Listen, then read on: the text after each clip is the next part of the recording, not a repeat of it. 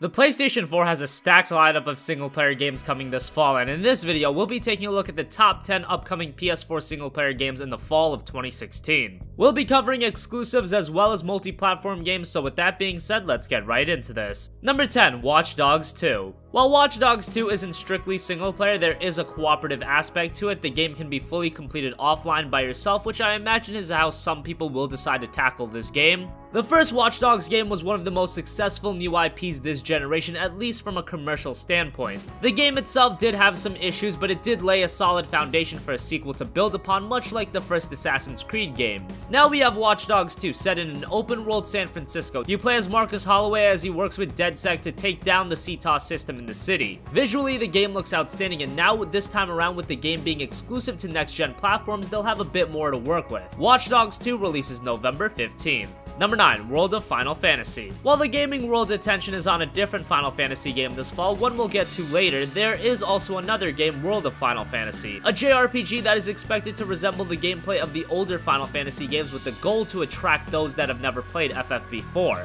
The game follows the story of two siblings in the world of Grymoire, and you'll encounter several iconic characters and creatures from all of the Final Fantasy games. World of Final Fantasy definitely won't be a big budget massive RPG experience, but it could fill in a nice niche of its own. The game releases on October 25th. Number 8, Gravity Rush 2. The first Gravity Rush game was originally released on the PlayStation Vita. It was one of the platform's best game, but obviously due to its niche market, it never saw any major success. However, it did see a remastered edition on the PlayStation 4 earlier this year, bundling all the DLC and upping the visuals, and that was very well done. Now we have Gravity Rush 2, which is being built ground up for the PlayStation 4, now with a much bigger world and more refined gameplay. The game has three times the amount of missions compared to the first game and will take around 20 to 40 hours to complete. Gravity Rush 2 releases on December 2nd.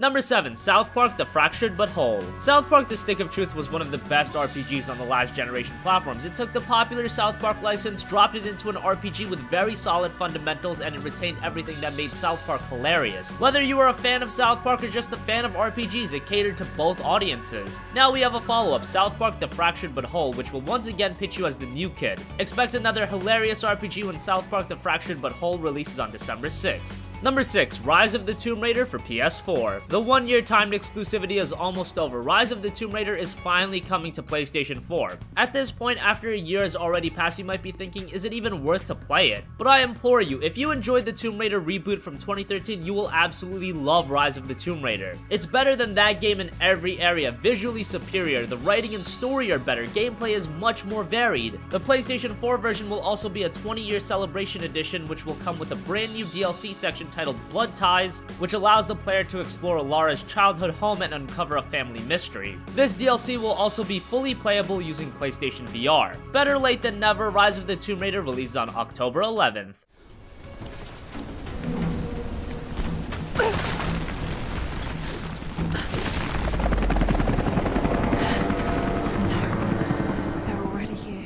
Number 5, The Elder Scrolls V Skyrim Special Edition. Skyrim was one of the most popular games of the last decade. The hype leading up to it, the long-lasting power of the game is amazing to say the least. It's something very few games will ever accomplish. However, on the PlayStation 3, the game suffered from a litany of technical issues. Now we have Skyrim Special Edition for the PlayStation 4, a remaster that ups the visuals and frame rates, adds in all of the DLC, and includes mod support. If you've never played Skyrim, this is gonna be the definitive version on consoles, and even though it's gonna be a full retail price, it's still a lot of content for your dollar. The Elder Scrolls V Skyrim Special Edition releases on October 28th. Number 4, Dishonored 2. Arkane Studios' Dishonored was a terrific game. It had great gameplay, awesome aesthetic direction, and a fantastic world. Now we have a follow-up, Dishonored 2, set 15 years after the first game. Dishonored 2 will allow you to play as a grown-up Emily Kaldwin or Corvo Attano, who was the protagonist of the first game. Just like the first game, you'll have a lot of options in how you want to tackle the game, so much so that you can finish the game without killing a single enemy. The upgrade system has been altered to a skill tree, giving the player even more options in where they want to take their character.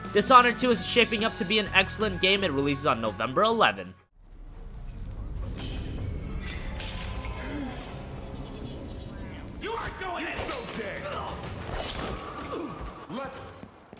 Number 3, The Last Guardian. The Last Guardian has been in development for such a long time now. The game was originally announced back in 2009 as a PlayStation 3 title, and until E3 of 2015, we didn't hear anything about the game. Many believed it to be cancelled, but alas, it's finally coming this year. The Last Guardian is being developed by Team Ico, the guys that made two of the best PlayStation 2 games of all time in Ico and Shadow of the Colossus. Those games were grand in scale for the time and told very emotional narratives. The Last Guardian also seems to be following that route, and you can tell based on what we've seen so far that something bad could happen to the Griffin like Trico. Regardless, it'll be nice to finally play The Last Guardian. It releases on October 25th.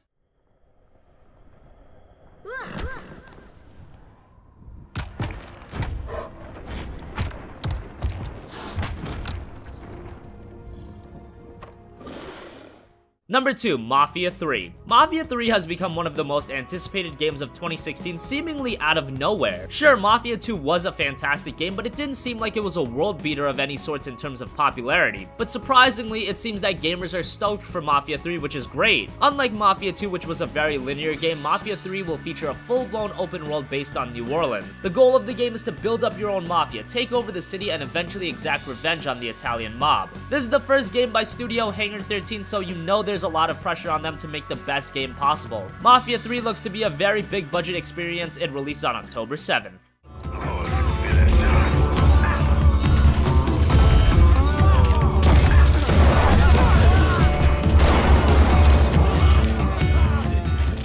And finally, number one, Final Fantasy 15. When you talk about long anticipated games, Final Fantasy 15 has to be one everyone speaks about. The game was announced back in 2006 and it's seen a long and tumultuous road to say the least. But that's been well publicized. Let's talk about the game itself and it has potential to be one of the best JRPGs in a long time. Technically, the game is a marvel to say the least, visually at a completely another level. The world is filled with detail and life. We just hope that the frame rate manages to hold up. Gameplay is far more actiony than previous FF games. It's a real-time action battle system more similar to Kingdom Hearts than Final Fantasy, but from the demo, it was a blast to play. Hopefully the story and writing delivers because that was the main issue with the Final Fantasy 13 trilogy. The story was just all over the place. The long wait for Final Fantasy 15 is almost over. It releases on September 30th.